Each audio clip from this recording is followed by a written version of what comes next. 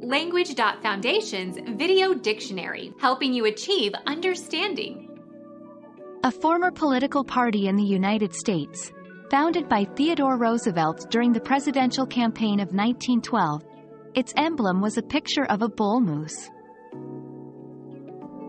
Bull Moose Party Become our student and get access to effective and free educational materials.